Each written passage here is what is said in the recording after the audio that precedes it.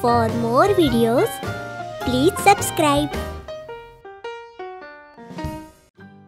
Essay on Coronavirus In corona pandemic, we all have realized that the greatest wealth is health. The coronavirus, also known as COVID-19, is the very small virus but it has stopped the whole world. COVID-19 was firstly identified in Wuhan city, China. Thereafter, it has spread across the world. World Health Organization, also known as WHO, has declared COVID 19 as a pandemic due to its rapid spread.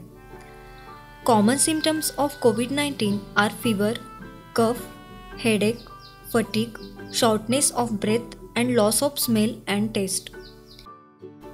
The virus is spread between people during close contact, most often via small droplets produced by coughing, sneezing, and talking. It affects our nervous system. COVID 19 is a cause of lots of death across the world. A novel coronavirus is a new virus that has not been previously identified. It is a thousand times smaller than a human hair, but the most harmful virus. COVID 19 means CO stands for corona, VI for the virus, and D for the disease. Preventive measures are important to reduce the chances of infection from the coronavirus.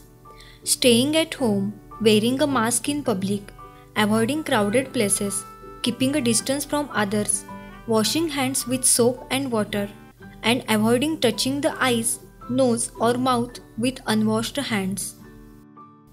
These are the preventive measures to protect yourself and others.